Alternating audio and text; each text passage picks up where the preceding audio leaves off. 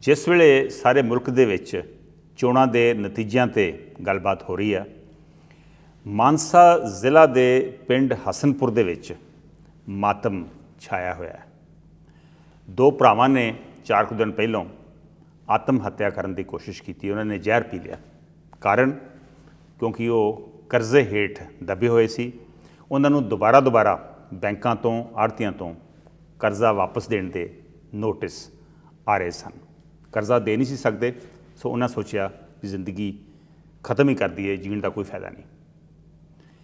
ਉਹਨਾਂ ਦੀ ਮਾਤਾ 60 ਕੁ ਸਾਲ ਦੀ ਮਾਤਾ ਜਸਵੰਤ ਕੌਰ, ਉਹਦੇ ਵਾਸਤੇ ਇਹ 13 ਸਦਮਾ ਸੀ 13 ਸਾਲ ਪਹਿਲਾਂ।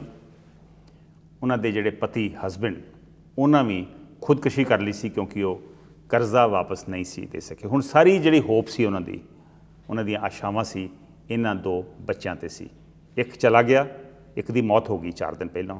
ਦੂਜਾ ਜਿਹੜਾ ਵਾ, ਉਹ ਪ੍ਰਾਈਵੇਟ ਹਸਪਤਾਲ ਦੇ ਵਿੱਚ ਮੌਤ ਔਰ ਜ਼ਿੰਦਗੀ ਦੇ ਨਾਲ ਜੂਝ ਰਿਹਾ ਵਾ। ਇਹ ਗੱਲ ਸਿਰਫ ਮਾਨਸਾ ਦੇ ਹਸਨਪੁਰ ਪਿੰਡ ਦੀ ਨਹੀਂ, ਇਹ ਪਿੰਡ ਪਿੰਡ ਦੀ ਕਹਾਣੀ ਆ। ਉੱਥੇ ਸੈਂਕੜਾ ਇਹੋ ਜਿਹੇ ਪਿੰਡ ਆ, ਜਿੱਥੇ ਲੋਕਾਂ ਨੇ ਕਰਜ਼ੇ ਦੇਣੇ ਆ।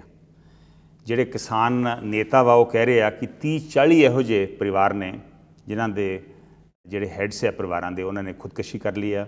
ਉਹਨਾਂ ਨੂੰ ਜਿਹੜੀ ਸਰਕਾਰ ਨੇ ਕਿਹਾ ਕੰਪਨਸੇਸ਼ਨ ਜਿਹੜਾ ਮੁਆਵਜ਼ਾ ਦਿੰਦੀ ਸਰਕਾਰ ਜੇ ਖੁਦਕੁਸ਼ੀ ਕੋਈ ਕਿਸਾਨ ਕਰ ਲਵੇ, ਉਹ ਕਈ ਮਹੀਨਿਆਂ ਤੋਂ ਮਿਲੀ ਨਹੀਂ। ਬੜੀ ਅਫਸੋਸ ਦੀ ਗੱਲ ਆ ਵੀ ਇਹੋ ਜਿਹੇ ਹਾਲਾਤ ਦੇ ਵਿੱਚ ਵੀ ਜਦੋਂ ਬੰਦਾ ਤੁਰ ਜਾਂਦਾ ਵਾ, ਪਿੱਛੋਂ ਪਰਿਵਾਰ ਜਿਹੜਾ ਉਹਨਾਂ ਦੀ ਰੋਟੀ ਖਾਣ ਦੇ ਲਾਲੇ ਪਏ ਹੁੰਦੇ ਆ, ਉਹਨਾਂ ਨੂੰ ਜਿਹੜਾ ਮੁਆਵਜ਼ਾ ਸਰਕਾਰ ਵੱਲੋਂ ਮਿਲਦਾ, ਉਹਦੇ 'ਚ ਵੀ ਇੰਨੀ ਦੇਰੀ ਕੀਤੀ ਜਾ ਰਹੀ ਹੈ ਔਰ ਇੱਕ ਜਿਹੜਾ ਆંકੜਾ ਬਾਹਰ ਆ ਰਿਹਾ ਵਾ, ਉਹਦੇ ਮੁਤਾਬਿਕ ਕਰੀਬ 4000 ਇਹੋ ਜਿਹੇ ਸੱਜਣ ਨੇ, ਸਿਰਫ ਬੁਢਲਾਡਾ ਸਬ ਡਿਵੀਜ਼ਨ ਦੇ ਵਿੱਚ।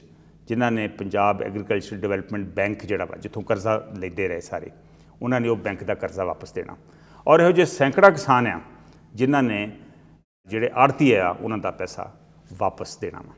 ਕਿਸਾਨਾਂ ਵੱਲੋਂ ਖੁਦਕਸ਼ੀ ਕਰਨ ਦਾ ਮਸਲਾ ਇੱਕ ਨੈਸ਼ਨਲ ਮਸਲਾ ਵਾ, ਕਈ ਹੋਰ ਰਾਜਾਂ ਦੇ ਵਿੱਚ ਵੀ ਇਹ ਗੱਲ ਆਈ ਆ, ਲੇਕਿਨ ਪੰਜਾਬ ਦੇ ਵਿੱਚ, ਜਿਹਨੂੰ ਮੁਲਕ ਦਾ ਅੰਦਾਤਾ ਕਿਹਾ ਜਾਂਦਾ, ਜੇ ਉੱਥੇ ਵੀ ਇਹ ਚੀਜ਼ ਹੋ ਰਹੀ ਹੋਵੇ, ਤੇ ਕਿੰਨੀ ਅਫਸੋਸ ਦੀ ਗੱਲ ਆ। ਇੱਕ ਹੋਰ ਯੂਨੀਵਰਸਿਟੀ ਦੇ ਆંકੜਿਆਂ ਮੁਤਾਬਕ ਕਰੀਬ 3-4 ਹਜ਼ਾਰ ਇਹੋ ਜਿਹੇ ਕਿਸਾਨ ਨੇ, ਜਿਨ੍ਹਾਂ ਨੇ ਪਿਛਲੇ 15 ਸਾਲਾਂ ਦੇ ਵਿੱਚ ਸਿਰਫ ਮਾਲਵਾ, ਜਿਹੜੇ ਆ ਦੋ ਤਿੰਨ ਜ਼ਿਲ੍ਹੇ ਆ ਜਿਹੜੇ ਸੰਗਰੂਰ, ਮਾਨਸਾ ਔਰ ਬਠਿੰਡਾ, ਉੱਥੇ ਉਹਨਾਂ ਨੇ ਖੁਦਕੁਸ਼ੀ ਕਰ ਲਈ ਆ।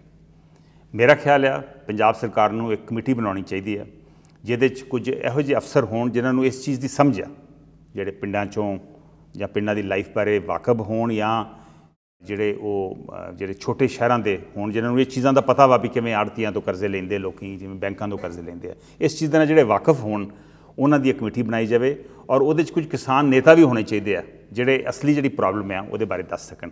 ਇਸ ਕਮੇਟੀ ਨੂੰ ਇਹਨਾਂ ਸਾਰੇ ਕਿਸਾਨ ਜਿਨ੍ਹਾਂ ਨੇ ਕਰਜ਼ਾ ਦੇਣਾ ਵਾ, ਉਹਨਾਂ ਤੱਕ ਪਹੁੰਚ ਕਰਨੀ ਚਾਹੀਦੀ ਆ। ਉਹਨਾਂ ਨੂੰ ਕਾਉਂਸਲਿੰਗ ਕਰਨੀ ਚਾਹੀਦੀ ਹੈ ਵੀ ਬਈ ਜ਼ਿੰਦਗੀ ਖਤਮ ਕਰਨ ਦਾ ਕੋਈ ਫਾਇਦਾ ਨਹੀਂ, ਇਹਦੀ ਲੋੜ ਨਹੀਂ। ਕਰਜ਼ਾ ਚੜ ਜਾਂਦਾ ਵਾ, ਕਰਜ਼ਾ ਉਤਰ ਵੀ ਜਾਂਦਾ ਵਾ।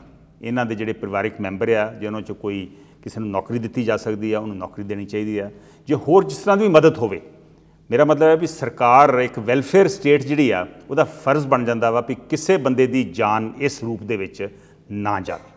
ਕਿਸਾਨਾਂ ਵੱਲੋਂ ਖੁਦਕੁਸ਼ੀ ਦੇ ਮਸਲੇ ਦੇ ਵਿੱਚ ਮੇਰੇ ਖਿਆਲ ਮੁਲਕ ਨੂੰ ਵੀ ਪੰਜਾਬ ਦੇ ਕਿਸਾਨਾਂ ਦੀ ਹੱਥ ਫੜਨ ਦੀ ਲੋੜ ਹੈ ਬਾਹ ਫੜਨ ਦੀ ਲੋੜ ਹੈ ਤੁਹਾਨੂੰ ਪਤਾ ਹੀ ਆ, ਪੰਜਾਬ ਦੇ ਕਿਸਾਨਾਂ ਨੂੰ, ਪੰਜਾਬ ਨੂੰ ਮੁਲਕ ਦੀ ਕਿਹਾ ਜਾਂਦਾ ਵੀ ਇੱਕ ਤਲਵਾਰ ਆ, ਇੱਕ ਢਾਲ ਆ। ਔਰ ਜੇ ਢਾਲ ਜਾਂ ਤਲਵਾਰ ਦੇ ਪਿੱਛੇ ਹਾਥੀ ਨਾ ਖੜਾ ਹੋਵੇ ਕੋਈ, ਤੇ ਉਹ ਕਿਸ ਕੰਮ ਦੀ? ਸੋ ਮੇਰਾ ਖਿਆਲ ਆ, ਜੇ ਅਸੀਂ ਪੰਜਾਬ ਨੂੰ, ਜੇ ਪੰਜਾਬ ਦੇ ਕਿਸਾਨ ਨੂੰ ਅਸੀਂ ਇੱਕ ਤਲਵਾਰ, ਮੁਲਕ ਦੀ ਤਲਵਾਰ ਮੰਨ ਕੇ ਚੱਲਣਾ ਵਾ, ਜੇ ਢਾਲ ਮੰਨ ਕੇ ਚੱਲਣਾ ਵਾ, ਤੇ ਇਸ ਮੁਲਕ ਨੂੰ ਔਰ ਪੰਜਾਬ ਸਰਕਾਰ ਨੂੰ ਖਾਸ ਕਰਕੇ ਇਹਨਾਂ ਕਿਸਾਨਾਂ ਦੀ ਬਾਹ ਫੜਨੀ ਪੈਣੀ ਆ, ਉਹਨਾਂ ਨੂੰ ਹੱਥ ਦੇਣਾ ਪੈਣਾ